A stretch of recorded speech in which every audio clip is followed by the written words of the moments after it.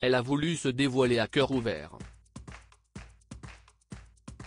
Invitée sur le plateau d'En Aparté ce jeudi 20 avril 2023, Charlotte Gainsbourg est revenue sur le sujet douloureux du décès de son père, le très célèbre Serge Gainsbourg.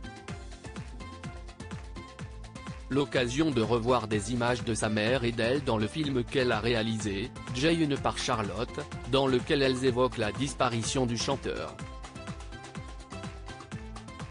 Et là précisément, vous pénétrez dans la maison de votre père, rue de Verneuil, à Paris, indique Nathalie Lévy.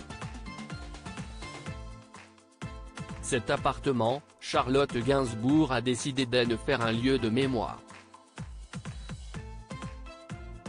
Elle a en effet transformé l'ancien domicile de Serge Gainsbourg en musée. Et pour cause, cet appartement a une valeur incroyable aux yeux de la femme d'Ivan Attal. J'avais 19 ans quand il est mort.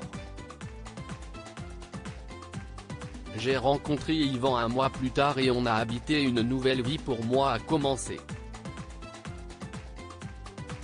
Mais j'ai tout de suite voulu racheter la rue de Verneuil, racheter les meubles pour que ça ne bouge pas, confie l'actrice. Mais si est aussi pour elle qu'elle a tenu à ne jamais abandonner cet endroit.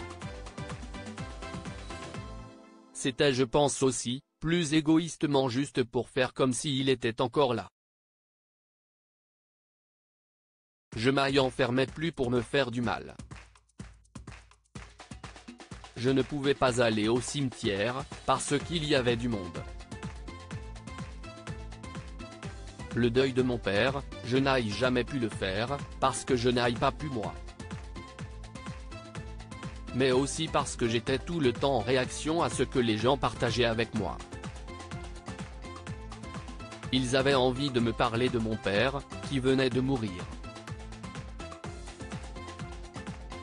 Charlotte Gainsbourg revient avec émotion sur le décès de son père Charlotte Gainsbourg revient sur cette période de deuil, qui lui a été impossible.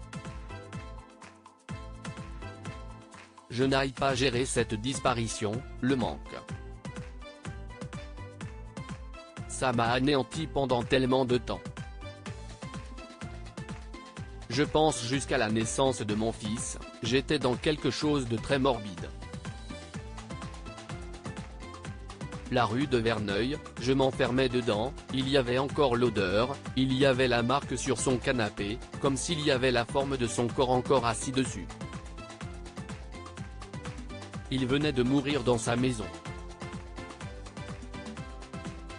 Sa chambre, je le voyais encore allongé comme j'ai pu le voir quand il est mort.